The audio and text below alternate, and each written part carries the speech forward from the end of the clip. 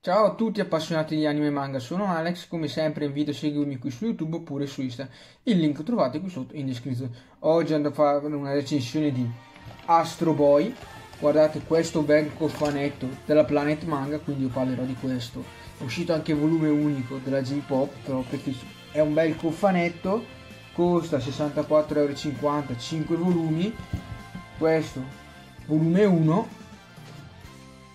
guardate che bello le prime pagine sono a colori vediamo non so se si vede bene eh.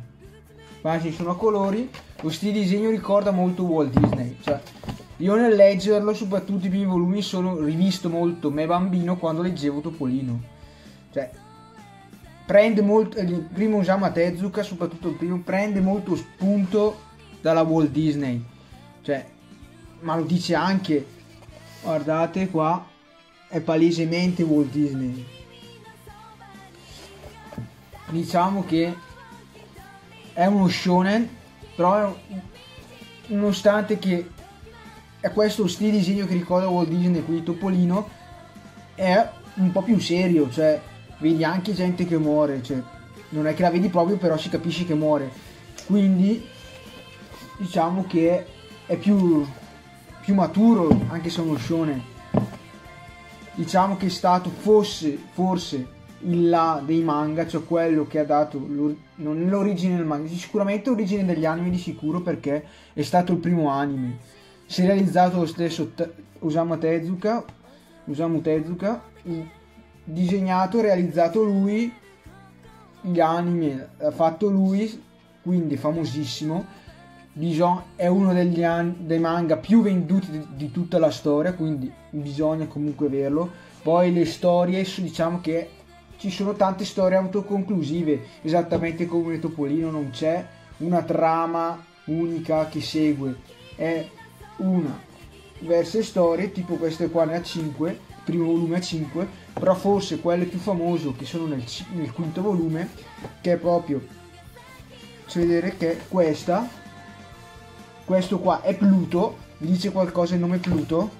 Eh, diciamo che, che è il più grande robot del mondo, il titolo di questa storia che è una di quelle storie più lunghe però mi è piaciuta sta tanto, infatti da questa Urasawa ha tratto il suo Pluto, cioè Pluto è una rivisitazione di questa storia che è il più grande robot del mondo, infatti ho visto Pluto ci sono Atom perché Astro Boy questo è un bambino robot, si chiama Atom in realtà, Tetsuan Atom, il nome originale.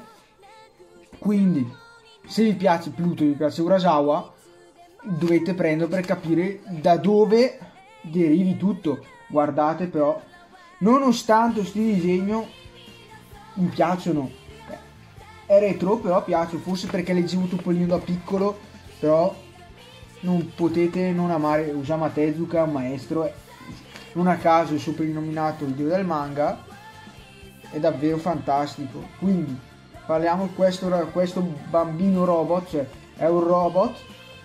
Come è nato? Cioè uno scienziato robotico aveva un figlio questo figlio gli muore un incidente e allora per ricordarlo crea un robot a sua immagine e somiglianza gli dà vita però per diverse peripezie li- litigano tra loro due perché i robot non possono mai fare del male agli umani, devono sempre fare del bene, però il suo padre non è proprio la stessa idea e litigano anche se più avanti, più avanti si capisce che fanno pace alla fine.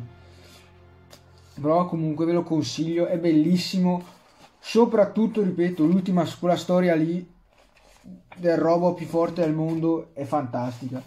La rileggeresti, infatti fatto appunto, ripeto, però comunque mi è piaciuto tanto Usama Tezuka è da prendere sempre e io ho il progetto di prendere tutti nei prossimi mesi tutti i manga di Usama Tezuka leggerli tutti anche se Black Jack uscirà nuova edizione della J-Pop ad aprile mi sa quindi devo aspettare una volta che l'avrò riuscito a leggere tutti recuperare tutti farò una classifica unica solo su Usama Tezuka. Dei miei preferiti la mia top 10 però ci vorrà da un bel po' di tempo ora che li trovo, li recupero, li leggo tutti perché ripeto Black Jackie aspetto l'edizione nuova che inizierà per lì quindi ci vorrà un po' di tempo io vi ringrazio, se vi è piaciuto il video mettere un like, iscrivetevi al canale, condividete il video e ricordatevi di attivare la campanellina. Ci vediamo al prossimo.